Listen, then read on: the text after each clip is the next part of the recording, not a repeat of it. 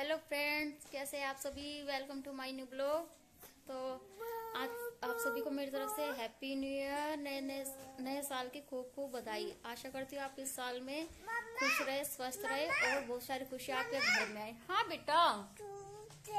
हाँ happy new year बोल दो सबको। हेलो करो हेलो सब हैप्पी न्यू ईयर बोलो।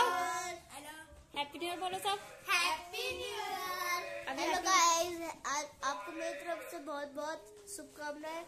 न्यू ईयर की नए साल की। नए साल की आपको बहुत शुभकामनाएँ। तो आज मेरी मम्मी के ब्लॉग में आपका स्वागत है। तो देखते रहिए आज मेरी मम्मी मेरे लिए क्या बनाती है और आज आज- बच्चों ने कुछ स्पेशल फरमाइश की है। नए साल के मम्मा कुछ अच्छी सी डिश बना लो।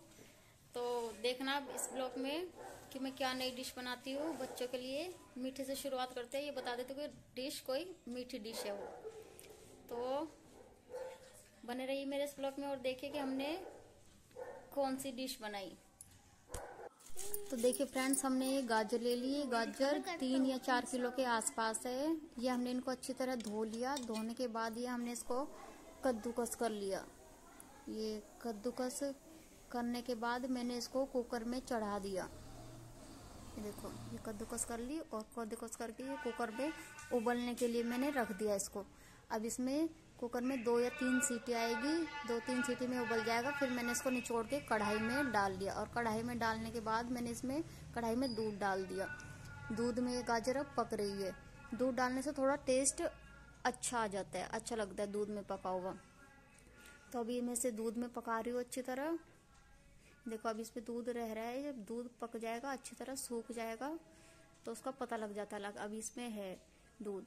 तो जब ये दूध सारा सूख जाएगा तो फिर मैंने इसमें चीनी ऐड कर दी। ये चीनी ऐड करने के बाद चीनी घुल गई और घुल के ये पानी की तरह हो गई।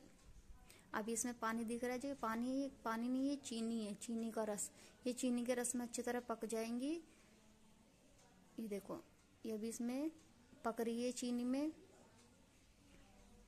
ये देख सकते हैं आप, जब ये अच्छी तरह पक जाएँगी अब इसमें पानी है तो इसे मुझे थोड़ा चलाना पड़ेगा। ये चलाना इसलिए पड़ता है ताकि नीचे लग ना जाए। इसलिए हमें ये बार बार चलाना पड़ता है। नीचे जल जल जाता है। नहीं चलाएँगे तो। अब ये चलाने से ये लगता नहीं है नीचे। तो अब मैंने इसमें ये ड्राई फ्रूट मिक्स कर दिया। ड्राई फ्रूट मिक्स करने के बाद मैंने इसमें मावा डाला। ये मावा थोड़ा टाइट था सर्दी की वजह से। तो मैंने इसको थोड़ा गर्म कर लिया। घी डाल के मावे को और गर्म करने के बाद मैंने इसको गाजर के हलवे में डाल दिया और डालने के बाद मैंने इसको अच्छी तरह मिक्स कर दिया मावे को। ये देखो, ये मावा और गाजर का हलवा मिक्स हो रहा है। मिक्स होने के बाद इसका टेस्ट और कलर बहुत सुंदर हो जाता है। ये देखो फ्रेंड्स, आप देख सकते हैं। ये मैंने इसको अच्छी तरह मिला दिया। अब गाजर का, हलवे का कलर बहुत सुंदर लग रहा है। देखो ये मिक्स कर दिया मैंने। ये मिक्स करने के बाद थोड़ा ठंडा हो जाएगा। ठंडा होने के बाद मैंने इसको दूसरे बर्तन में, कढ़ाई में से दूसरे बर्तन में, दूसरे बर्तन में निकाल लिया। तो कैसी लगी आपको मेरे गाजर के हलवे की रेसिपी कमेंट में ज़रूर बताना और please like share and subscribe